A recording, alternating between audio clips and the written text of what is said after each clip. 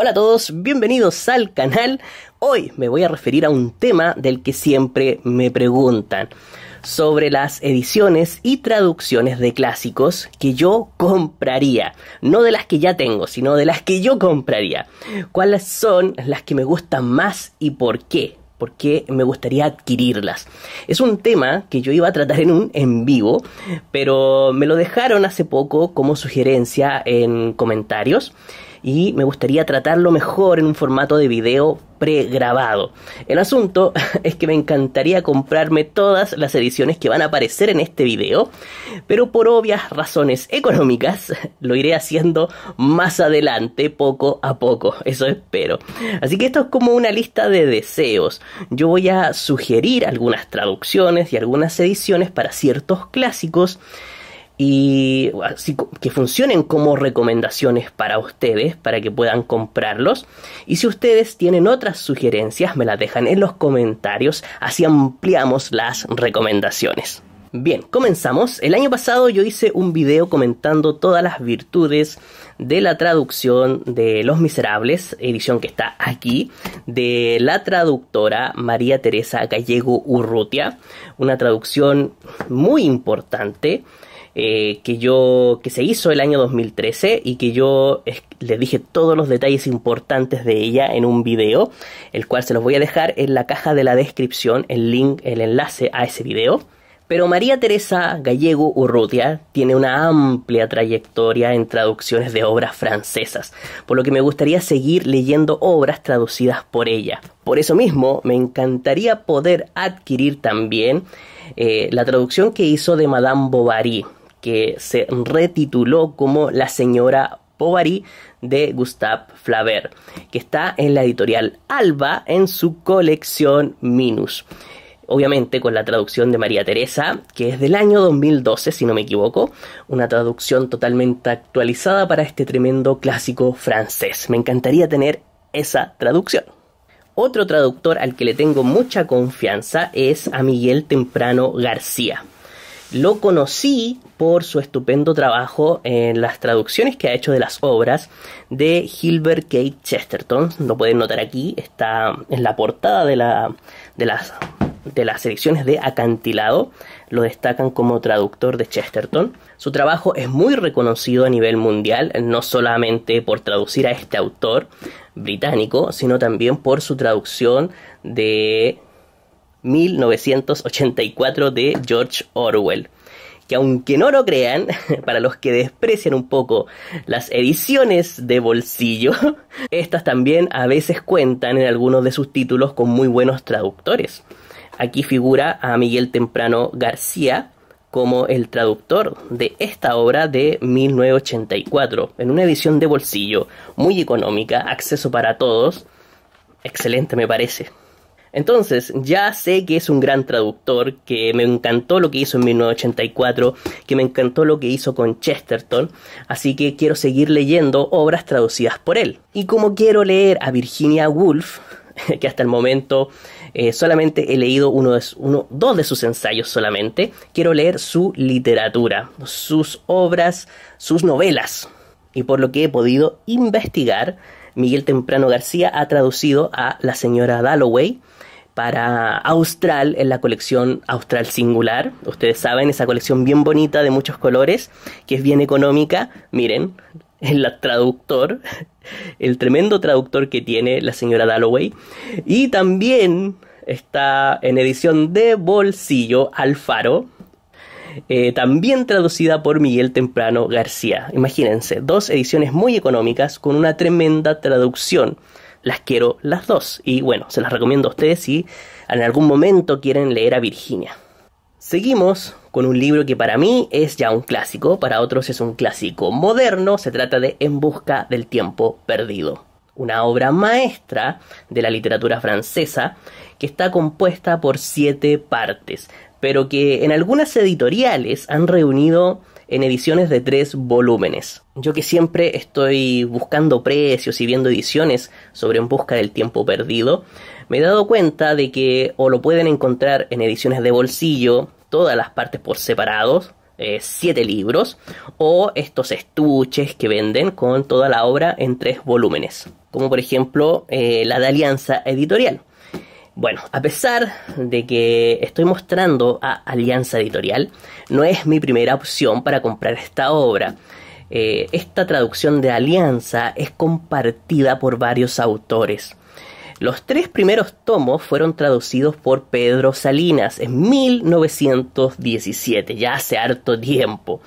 Y luego, eh, él solamente tradujo tres y el resto eh, completó la traducción María Quiroga Pla y Consuelo Verges. La antigüedad de la traducción y el hecho de que sean tres los traductores me provoca me provocan descartarla. Solamente la compraría si no tuviese otra opción. Eh, yo prefiero que sea un solo traductor para toda la obra. Así tengo una sola eh, mirada. Un solo traductor me da la seguridad de una traducción más homogénea. Así que Alianza queda como segunda opción por el momento para mí. Así que aquí les traigo mi primera opción que es Valdemar, que también tiene un estuche de tres libros pero tiene un solo traductor, quien es el destacado Mauro Armiño, traductor que me da mucha confianza porque tiene una gran trayectoria, eh, sobre todo en obras francesas y ha sido muy premiado. Y la traducción es del año 2000, es muy actualizada. Entonces, Valdemar tiene un solo traductor y es también una traducción moderna. Además, esta, por lo que he leído, y he investigado, esta edición de Valdemar trae material complementario, trae una introducción, trae diccionarios, trae fotos, notas y, y variada documentación cosa que no creo que traiga alianza.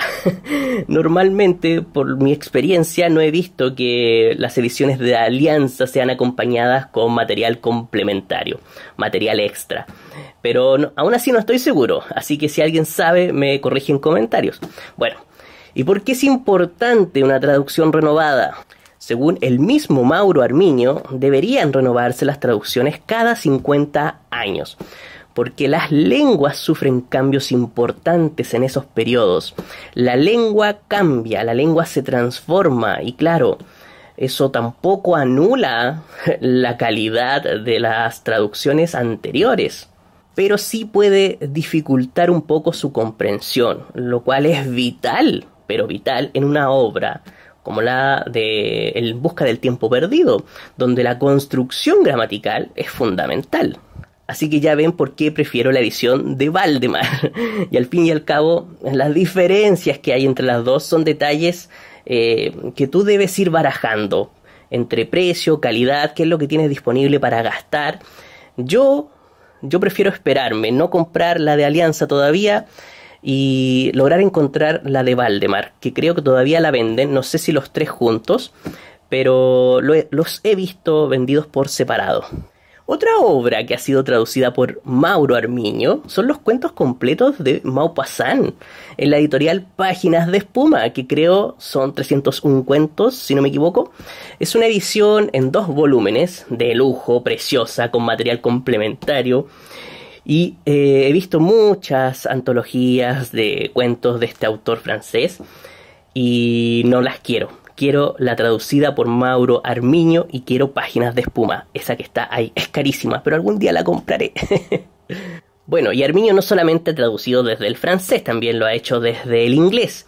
Yo les decía que las ediciones de Austral eran económicas y tenían muy buenas traducciones. Y aquí hay otro gran ejemplo, el retrato de Dorian Gray, esta edición eh, está a muy, muy buen precio. Tiene también la traducción de Mauro Armiño. Todo un lujo de que nos está dando Austral Singular. Pero no creo que esta edición sea la edición sin censura. Así que si ustedes buscan la edición sin censura, les recomiendo que creo que es la única, la única que está en español sin censura, es de la editorial Reino de Cordelia. Les dejo la imagen por ahí que no cuenta con la traducción de Armiño claramente, pero sí con la de Victoria León, que también tiene una gran experiencia como traductora de literatura victoriana, así que también hay mucha seguridad en eso. Bueno, yo me compraría las dos obras, las dos traducciones, con y sin censura, y me gustaría compararlas. No sé, estupendas ediciones, me encantarían las dos. y este librito que tengo aquí, La Vuelta al Mundo en 80 días, me costó muy económico. es de ediciones Viva Leer Copec que es un esfuerzo conjunto entre COPEC y la Fundación La Fuente para fomentar la lectura, sacando al mercado ediciones como esta en formatos muy económicos y que muchas veces son menospreciados, porque dicen no, que son malas las traducciones y todo eso. Pero miren, lo voy a abrir aquí. Pertenece a Editorial Planeta y miren lo que dice ahí. Traducción. Mauro Armiño. ¿Se dan cuenta el lujo de tener a Mauro Armiño en Viva Leer Copec? Impresionante lo encuentro. Este libro me costó 5 mil pesos chilenos. Como, como, decimos en Chile, 5 lucas. por 5 lucas tengo una traducción excelente de Julio Verne por Mauro Armiño. Bien, y ahora vamos con Drácula. En uno de los en vivo que hice la semana pasada, eh, me recomendaron la edición de Valdemar y tenían toda la razón. Investigué y tiene la traducción de Oscar Palmer, la cual es considerada actualmente la mejor y más fiel hecha en lengua española. Y fue hecha en 2005, totalmente actualizada. Si llego a comprar Drácula, será en esa edición. Ahora vamos con Robinson Crusoe, es que es de esos clásicos que conocemos desde que somos pequeños. Hay tantas versiones dando vueltas por ahí en el mercado que uno se confunde.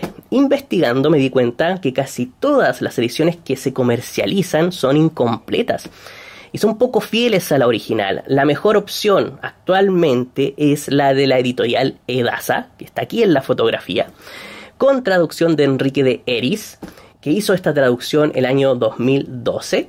Según eh, este traductor, la versión original de Robinson Crusoe cuenta con tres partes. ¡Tres! y las versiones que circulan en el mercado apenas presentan la primera parte y sin estar necesariamente completa. Y al no estar completa y solo presentar la primera parte, se ve esta obra como una simple novela de aventuras, cuando su significado es más profundo. Y en Edasa tienen a la venta en un estuche la primera y la segunda parte, las dos traducidas al español por Enrique. Eh, Robinson Crusoe y Nuevas Aventuras de Robinson Crusoe, creo que se titulan las dos obras. Y creo que todavía nos sacan la tercera parte, que vendría a, ser, a estar titulada como Serias Reflexiones de Robinson Crusoe. Me parece grandioso, grandioso. Me encantaría tener las tres, pero son carísimas, carísimas. Bueno, si las ven por ahí y tienen dinero, es lo que yo compraría. Ahora vamos con Anton Chekhov, este tremendo cuentista ruso. Eh, la edición más completa de sus relatos la tiene editorial Páginas de Espuma. Se los comenté en el live, recuerdo, en una pregunta que me hicieron, que está editada por Paul Viejo que son cuatro volúmenes donde se reúne toda la narrativa breve de este tremendo autor ruso, padre del cuento moderno. Y está ordenada, eso es lo interesante, eh, está ordenada de forma cronológica, sus cuentos están ordenados de forma cronológica, por lo que uno puede apreciar la evolución del escritor, desde sus inicios eh, con cuentos más humorísticos hasta los últimos cuentos con un gran manejo de las estructuras y esa precisión de la palabra que siempre destacaba en Chekhov.